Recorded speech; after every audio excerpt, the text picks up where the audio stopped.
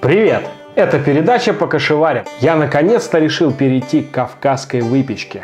Когда слышишь словосочетание «кавказская выпечка», первое, что приходит в голову, ну лично мне, это, конечно же, хачапури. Именно поэтому сегодня я решил сделать хачапури по-аджарски.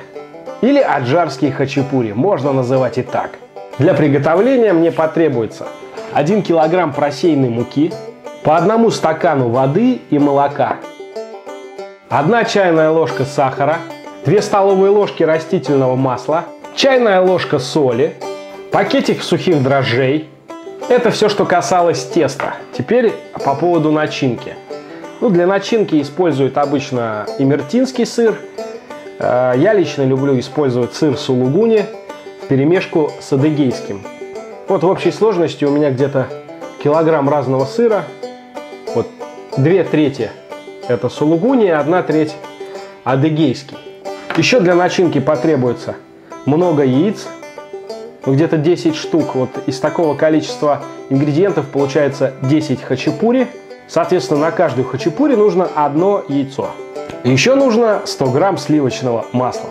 Вот и все. Давайте будем готовить наши хачапури.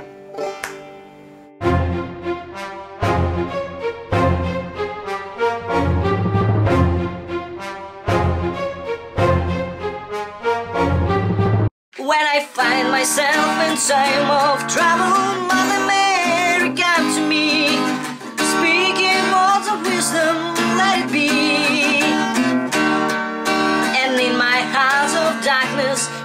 standing right in front of me, speaking words of wisdom, let it be.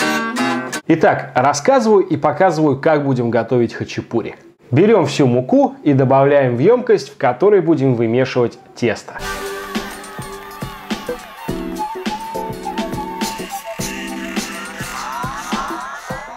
К муке добавляем пол-литра жидкости, а это, как я говорил, стакан воды и стакан молока.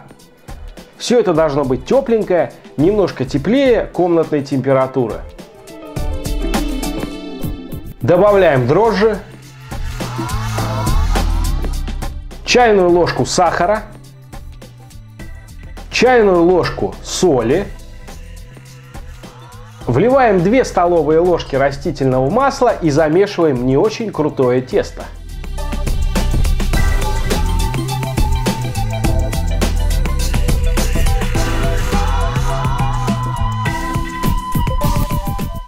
Емкость с тестом накрываем влажным полотенцем. Очень важно, чтобы было влажно. И ставим на полтора часа в теплое место подниматься. Ставим тесто в теплое место. Рэпер неудачник, блин.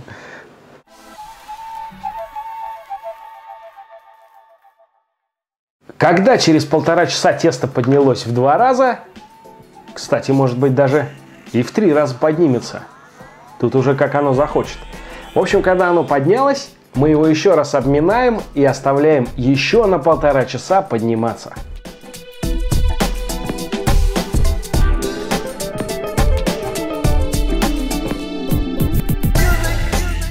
Готовим начинку. Сыр натираем на терке.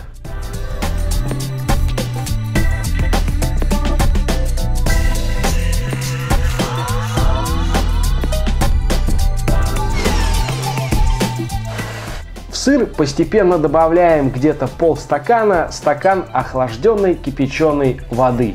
При добавлении воды все это дело постоянно перемешиваем. Должна получиться густая сырная каша.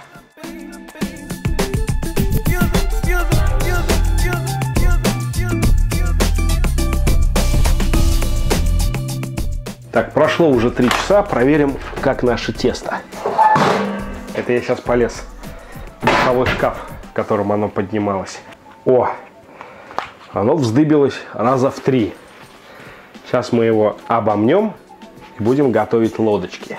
Делим наше тесто на шарики где-то весом 200 грамм. Всего получится 8-10 шариков. Каждый шарик раскатываем в круг. Вот примерно такой вот. Получается что-то типа лепешки. У каждого круга сворачиваем в рулончики края к центру. Сейчас я хочу приготовить всего 5 штучек хачапури, поэтому половину теста я уберу.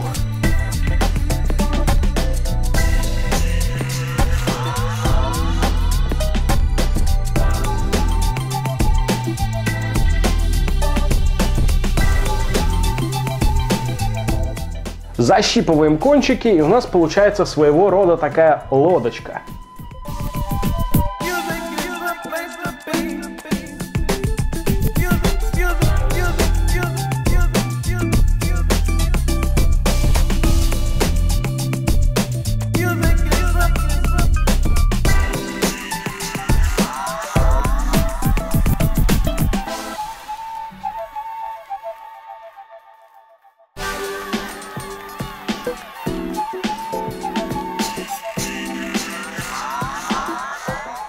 Разогреваем духовку до максимальной температуры. Это где-то 260 градусов. И ставим наши хачапуры выпекаться примерно 15 минут.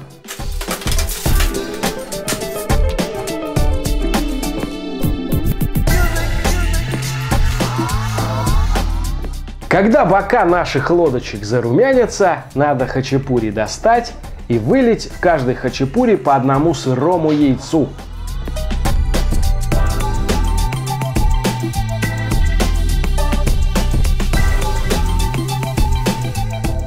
Затем минуты на 2-3 возвращаем хачапури в духовку.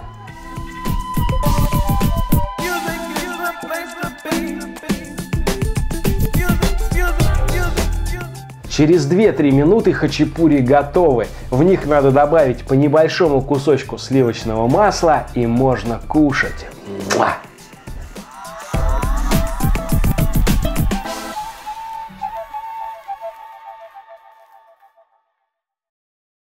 С вами была передача по кашеварим. Всем пока, до новых встреч. А я традиционно останусь поем.